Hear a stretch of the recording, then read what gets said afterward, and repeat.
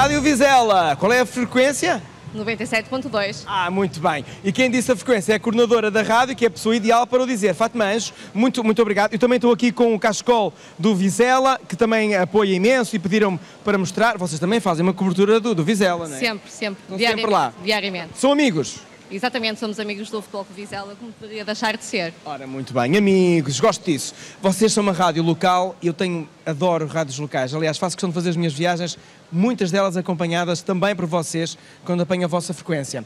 A vossa linha editorial passa muito por esta proximidade? Exatamente, nós somos uma rádio local, na, na perfeita noção do, do, que isso significa, somos uma rádio de proximidade e é por isso que hoje também estamos aqui a acompanhar este evento, esta abertura da Vizela, Cidade Natal, Segredos de um Val e estamos também a acompanhar a vossa emissão, como já puderam perceber. Em parceria com o RTP, muito obrigado por também nos divulgar. É bom para todos, não é? Já, já, já está a ficar tradição nas vossas três vezes que vieram cá, ultimamente, nós estivemos em direto. Estamos também numa parceria com a Câmara Municipal, fazemos parte deste evento, até porque no dia 16 de dezembro vamos ter uma grande festa de Natal dedicada às crianças, que vai ter lugar na tenda de espetáculos, onde penso que também já passaram uh, neste dia. Já lá, ainda lá voltaremos.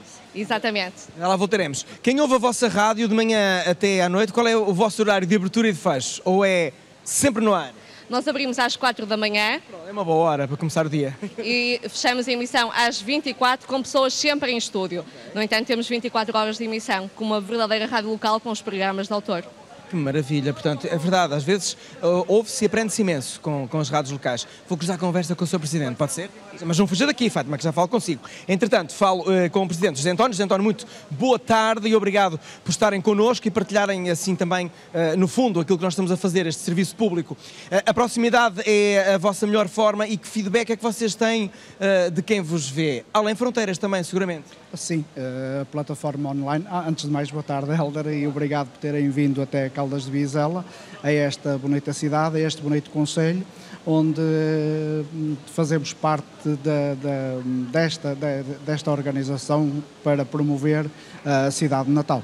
E, e, vocês, portanto, estávamos a falar da, da parte online e ficámos dependurados. Também estão na, na, parte online? Sim, eh, estamos na parte online, eh, onde temos ouvintes em todas as partes do mundo. Eh, ele é redondo, mas é, efetivamente é, é uma boa forma de chegarmos a todos aqueles que estão longe da sua terra natal e com isso chegamos até eles. E temos muitos ouvintes.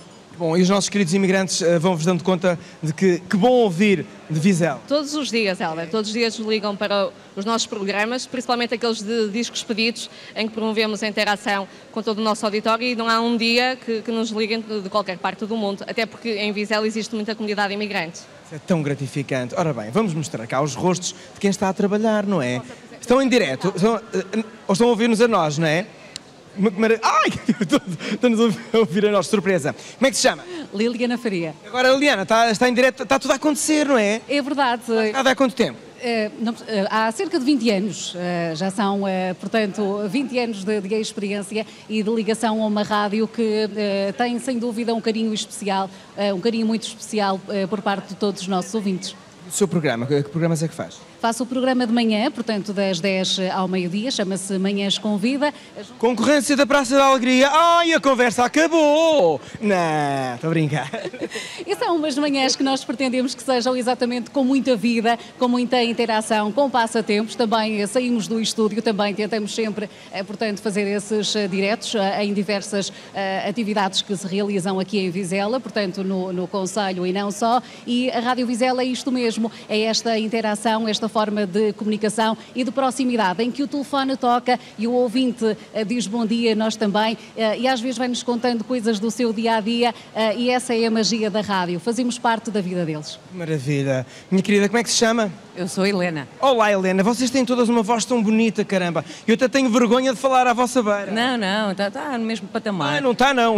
Eu, vocês sempre ali altamente colocados. Uh, o seu programa acontece a que horas? Bom, eu sou jornalista, mas também integro o departamento de programação. Eu chego antes da Liliana Faria e do Bruno Azevedo também no Manhãs Convida. Eu tenho um programa que se chama Hora H. Okay eh, e abre praticamente o dia na rádio. Notícias locais ou nacionais? Eh, locais e regionais eh, e também depois poderemos completar com algumas nacionais, mas privilegiamos normalmente as locais e também tudo aquilo que se passa na, na nossa região também.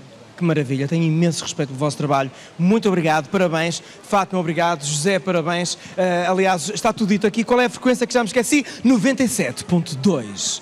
Mas vocês dizem melhor. Como é que é? 97.2 FM.